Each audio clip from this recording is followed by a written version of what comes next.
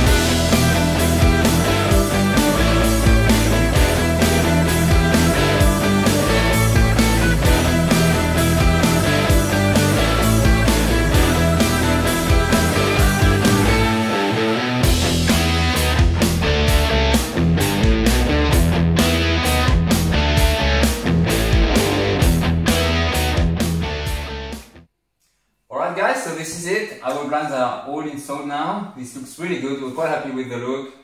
Uh, the opacity is quite good as well. It allows us to really block the sun, but not really make the room too dark. So this is perfect. Just keeps the room uh, quite cool. So this is good. So let's see them in action.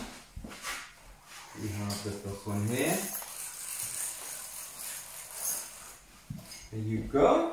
And this one there.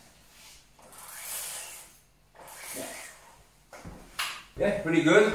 So they look really good side by side. This is perfect. Very easy to to manipulate, of course. And uh, yeah, it looks great.